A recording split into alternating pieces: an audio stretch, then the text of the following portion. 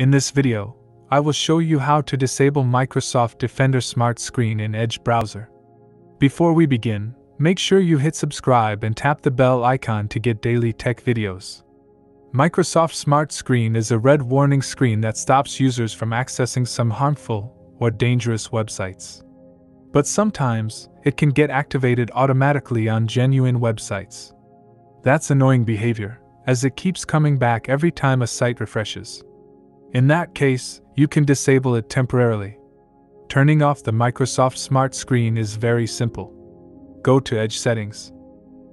Next, you go to Privacy, Search, and Services section.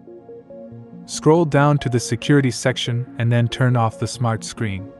That's it.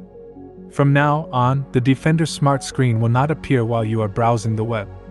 But I will recommend you to turn it on after your work is done. This is how you can easily disable Microsoft Defender Smart Screen in Edge anytime.